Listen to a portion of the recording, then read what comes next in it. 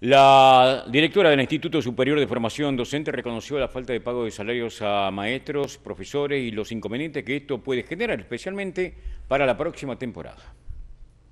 con una situación bastante grave en relación a la deuda de los saberes de 15 profesores y dos coordinadores correspondientes al profesorado de educación técnico profesional en concurrencia con el título de base, así se denomina este profesorado, con sedes en la ciudad de Comodoro Rivadavia y en la localidad de Sarmiento.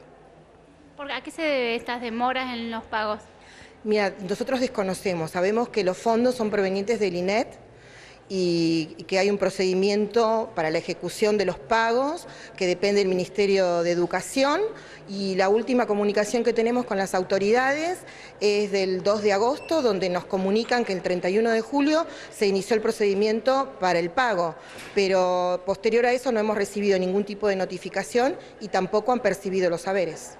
Pese a que no han cobrado, ¿siguen dando clases? Sí, la educación superior tiene esa particularidad, o entre algunas particularidades, es que los docentes eh, son designados por cuatrimestre. Entonces, el cuatrimestre que inició entre febrero y marzo de este año ha culminado en agosto.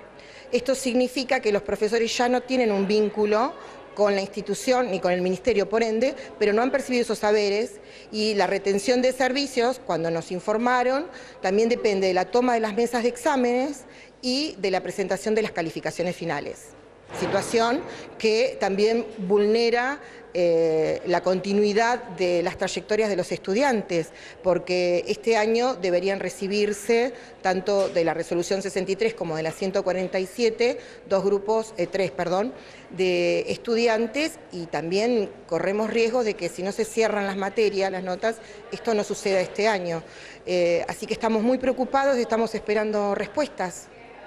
Es decir, que peligra que los chicos reciban sus títulos, se egresen, si es que los docentes continúan con la retención. Sí, como manifesté también en otras eh, entrevistas, el problema es, es doble, ¿no? Por un lado, la falta de pago de los haberes de los colegas y por el otro lado también la continuidad de las trayectorias de estudiantes.